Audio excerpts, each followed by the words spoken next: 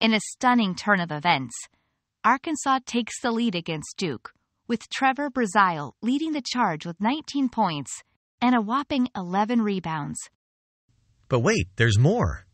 Khalif Battle swoops in off the bench, racking up 21 points, and Chandler Lawson says not in my house with six emphatic blocks. Meanwhile, Duke's preseason All-American Kyle Filipowski might need a map to find the basket, scoring just three in the first half. But let's not forget Coach McGee taking the reins and steering Arkansas to a gripping 80 to 75 victory. As the dust settles, the Arkansas team huddles, their eyes filled with determination.